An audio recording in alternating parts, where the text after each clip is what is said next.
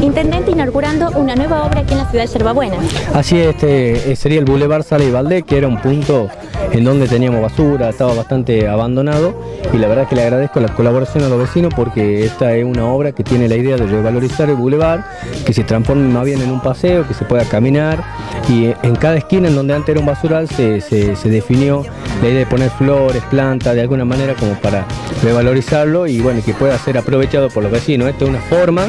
de hacernos cargo de los espacios públicos que de alguna manera es el camino para ir mejorando la calidad de vida de todos los que vivimos en nuestra ciudad y además garantizamos también lo que es la identidad de Ciudad Verde, ya que como se verá todo el bulevar es verde y por lo tanto eh, tiene que ver eh, directamente con la idea que tenemos de ciudad y con lo que queremos plasmar. Y esto se suma también a lo que fue el arreglo de la calle Sala y Valdés, que anteriormente también era bastante difícil de transitar, así que por lo tanto vamos sumando acciones quizás chiquitas, pero que de alguna manera hacen sinergia para mejorar todo lo que es el Boulevard Sala y Valdés. Eh, paso a paso, pero, pero firme, Intendente. Así es, vamos con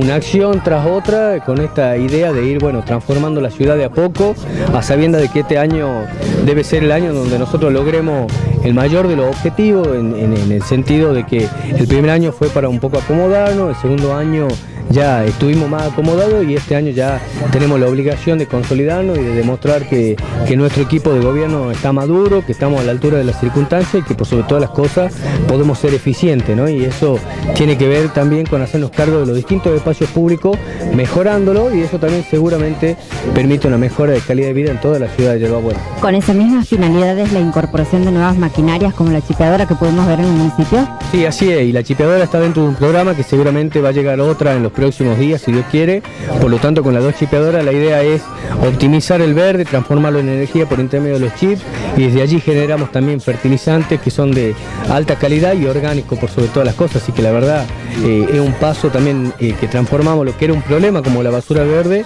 en una oportunidad para generar de alguna manera energía y tal vez también trabajo, porque a la larga la idea es que esto se pueda trabajar en escala y en algún momento podamos vender tanto los chips como así también los productos vinculados a todo lo que es eh, fertilizantes orgánicos, que es lo que estamos haciendo hoy en día en el vivero. Así que la verdad, estas dos chipeadoras también nos van a permitir,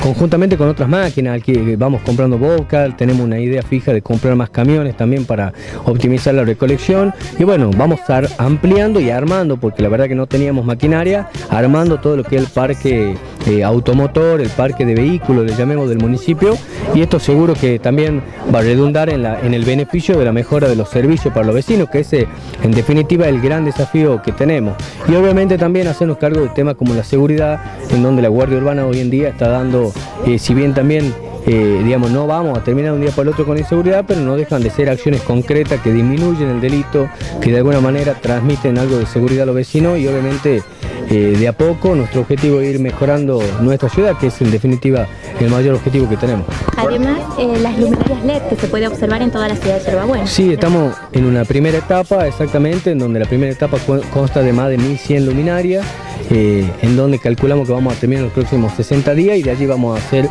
otras etapas, obviamente con el objetivo de que en algún momento toda la ciudad tenga iluminación LED. Es una iluminación más eficiente, pero también es una iluminación que transmite más seguridad, porque obviamente al transmitir más luz permite que, los vecinos se sientan más seguros. Así que también es una acción que estamos llevando adelante y que la empezamos a ejecutar hoy, pero ya hace meses que venimos estudiando, te diría que hace un año y algunos meses que se llevó adelante el inicio del proyecto técnico, porque realmente teníamos falencia con algunos cableados y con varias cuestiones que, que había que actualizar, por lo tanto luego de ese estudio se hizo la licitación y hoy en día ya contamos con, con una buena cantidad de LED, pero como digo, es una primera etapa, nosotros tenemos un proyecto ambicioso de llegar al 50% de la ciudad en el, plazo de este año, por decirlo de alguna manera, eh, con 3.000 luminarias más en un programa que estamos haciendo con el, con el Ministerio, de, con la Secretaría de Energía de la Nación, así que la verdad tenemos mucha expectativa de que este año 2018 sea un gran año en términos de obra y en términos de acciones de las cuales nos comprometimos con los vecinos y es nuestro gran objetivo. No menor eh, que se ha dado en su gestión tiene que ver con esta comunicación con los vecinos. Hoy también no, ha pasado inadvertida esa circunstancia y este diálogo ha sido mano a mano, digamos. Sí, hoy se acercaron varios, se acercaron varios vecinos, por supuesto, la impronta nuestra de gestión, por más que eso también se transforme en una demanda muy alta, es eh, intentar estar lo más cercano del vecino y en mi caso particular de los distintos problemas y en este caso hoy se acercaron varios vecinos y esto es muy bueno porque también nos hacen su crítica constructiva, como siempre digo, y sirve para ir mejorando. Nuestro gran desafío es solamente eh, demostrar que podemos, digamos, eh, eh, gestionar nuestro municipio y transformar a Yerbuena en un municipio de vanguardia en el norte argentino. Y ese es el objetivo y obviamente que en ese sentido soy un agradecido porque los vecinos cada vez, por más que obviamente las críticas son siempre muy bien bienvenidas, pero la verdad que yo siento que hay un apoyo del vecino en, las acciones que llevamos adelante y eso nos obliga a redoblar el esfuerzo para que podamos seguir trabajando para que Buena pueda mejorar. Y obviamente a mí me, alegra cada vez más que, nuestro municipio forma parte de eventos tanto culturales como deportivos y cada vez se va tomando más, más protagonismo, que es lo que, lo que nosotros pretendemos también, que sea una ciudad ícono de Tucumán, que todos los que vengan a visitar nuestra provincia hagan la base en, en Buena y de allí salgan